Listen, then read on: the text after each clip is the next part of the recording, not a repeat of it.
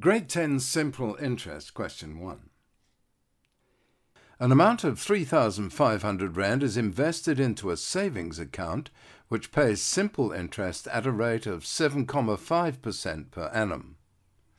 Calculate the balance accumulated by the end of two years. If 3,500 Rand is invested, this is the value of P the account pays simple interest at a rate of 7.5% per annum. So that means I, your interest rate, is 7,5 divided by 100, which will give you 0.075. You are then asked to calculate the balance accumulated by the end of two years. n is equal to 2, and the value you are asked to work out is the accumulated amount, which is A.